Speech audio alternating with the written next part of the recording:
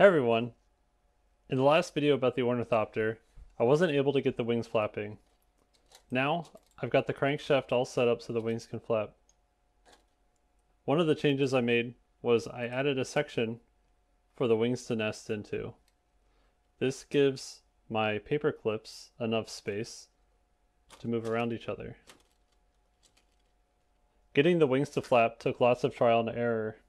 One of the things I found to be helpful was setting the ornithopter on its wings like this allowed me to test out different size levers. So if one lever was too long or too short, the wings wouldn't sit flat on the table. And once I was able to get the wings to sit flat on the table, I knew I had the right size levers coming off the crankshaft.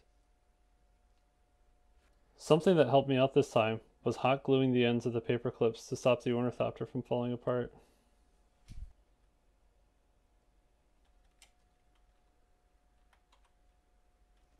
I use rubber bands to power the ornithopter.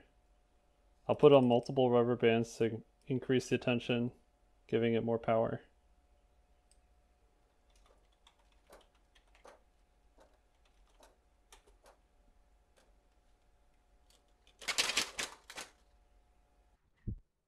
This is just a test to see how it falls.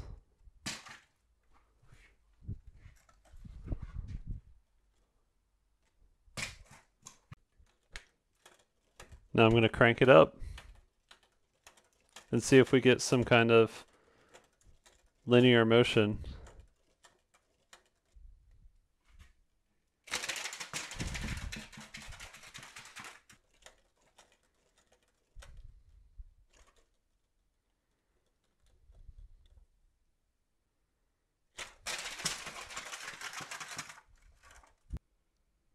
The flying didn't go well at all.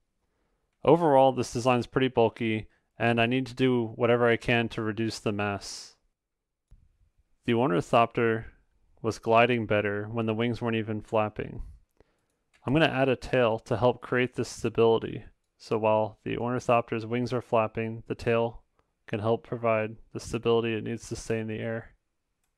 Overall, there's lots of improvement that this Ornithopter is going to need before it will actually fly. Like and subscribe if you want to stay up to date on this project. See you later.